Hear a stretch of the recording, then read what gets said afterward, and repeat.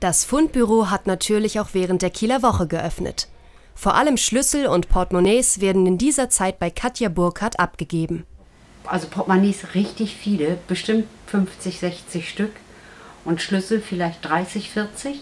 Sonst unterscheidet sich die Arbeit im Fundbüro zum Rest des Jahres nicht. Wir lagern, denke ich, zurzeit ca. 4000 Fundsachen hier bei uns im Büro. Jeder Schlüssel wird einzeln erfasst und so kommt diese hohe Zahl natürlich zustande.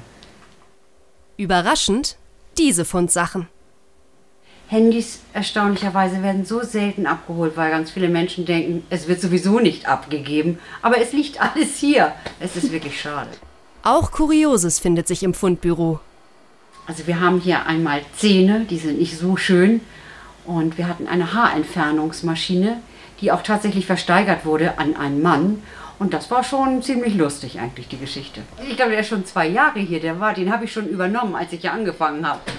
Und irgendwie ab und zu fällt er mir mal ins Auge und ich weiß gar nicht, wer gibt einen leeren Bierkasten ab. Naja, aber wir haben ja auch Kettensägen, insofern, wir haben ja alles. Sind gut bestückt hier. Zurzeit werden hier rund 300 Fahrräder verwahrt. Und darum machen wir ja auch wieder eine extra Versteigerung, weil wir auch einfach den Platz benötigen. Es kommen alle zwei Wochen neue Fahrräder und unsere Kapazitäten sind einfach begrenzt.